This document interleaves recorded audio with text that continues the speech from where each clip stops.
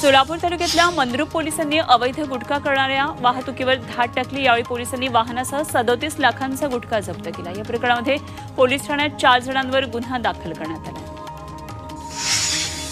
बुलडाण्यामध्ये गावगुंडांनी hotel मालकाला मारहाण केली. उधारीचे पैसे मागितल्यानं पाच गावगुंडांनी कोलवडमध्ये अनिल पैठणे या हॉटेल मालकाला आणि त्याच्या कुटुंबियांना मारहाण केली. संपूर्ण घटना सीसीटीव्हीमध्ये चित्रित झाली आहे आणि या प्रकरणामध्ये पोलिसांनी पाच जणांवर गुन्हा दाखल केला.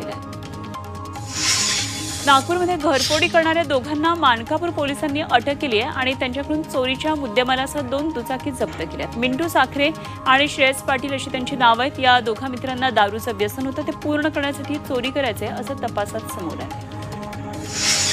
लातूरच्या अहमदपूरमध्ये वाळूचा मोठ्या प्रमाणामध्ये अवैध व्यवसाय सुरू आहे आणि या प्रकरणात तहसीलदारांनी वाळूच्या साठ्यावर कारवाई केली आहे. गोदावरी नदीच्या पात्रातून वाळू उपसा करून अवैध पद्धतीनं पन्नास ते साठ ब्रास वाळूचा अमृत नोनी गॅस्ट्रिन अपचन ऍसिडिटी गॅस्ट्रबल ह्यापैकी तुम्हाला कुठलाही गॅस्ट्रिक प्रॉब्लेम झाला.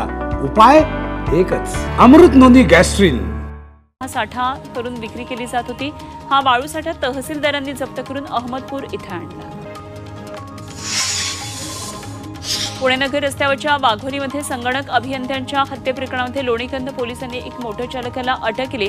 भगवान केंद्रे असा आरोपीचं नाव आहे आणि केवळ तीन हजार रुपयांसाठी गौरव उदासी या संगणक अभियंत्याची भगवाननं गळा चिरून हत्या केली. शनिवारी दुपारची ही घटना आहे आणि गौरवकडे भगवानचे तीन हजार रुपये बाकी होते.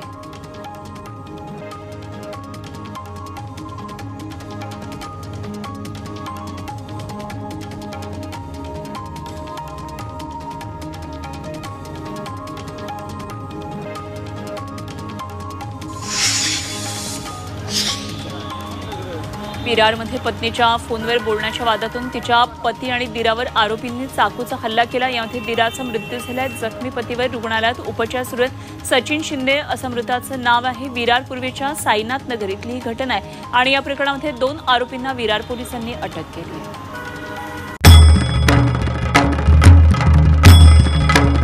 भंडाऱ्याची उधळण. म्हणजे?